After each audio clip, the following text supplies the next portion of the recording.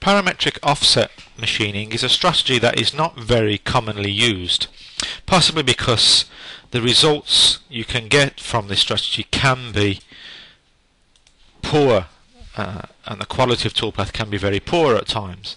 But with a little care and attention and understanding of how this strategy works, it can give you a much superior toolpath uh, for high-speed machining than conventional machining methods such as 3D offset or constant Z.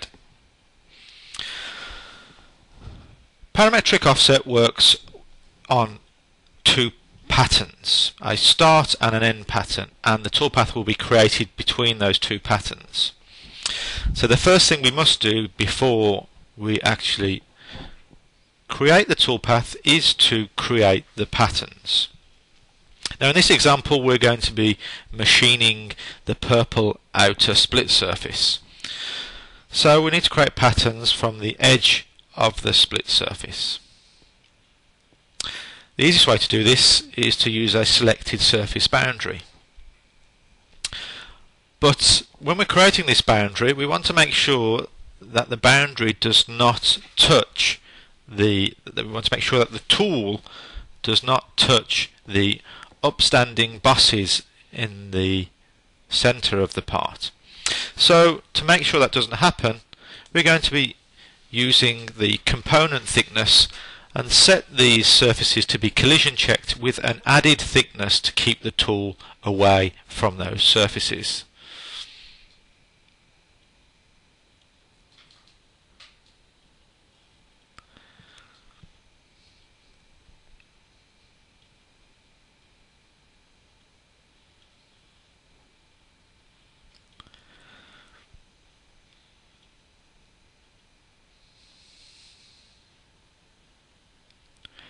So we simply select the split surfaces,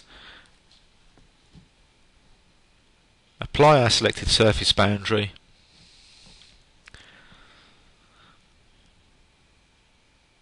and you can see the resultant boundary is created.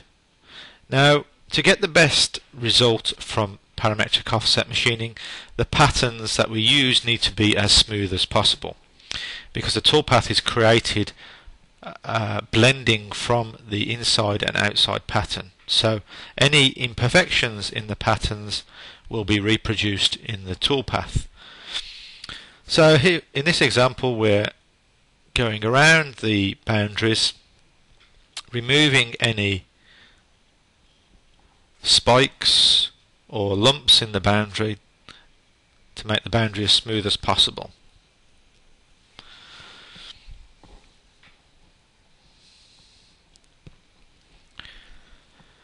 Once the boundary is complete, then we can create our patterns from this boundary, which we can then enter into the parametric offset machining form.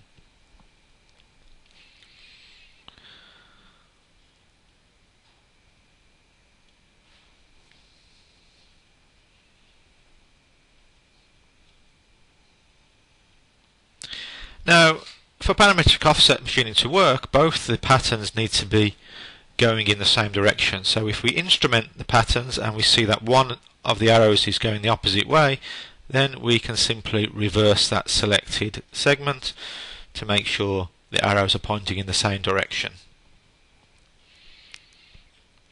Now because we edited this boundary, this selected surface boundary, the actual boundary is now in the wrong position and you can see that it's actually dropped below the surface. So to get the boundary back into the pattern into the correct position we need to drop the pattern down. When we drop the pattern back down onto the surface that takes into consideration the tool geometry. So that boundary will be in tool tip sorry that pattern will be in tool tip position. So now we specify the start and the end patterns and what position the patterns are in. In our case, as I've said before, the patterns are in the tool tip position because they were created from the selected surface boundary. Now PowerMill will create a toolpath that blends seamlessly from the outside pattern to the inside pattern.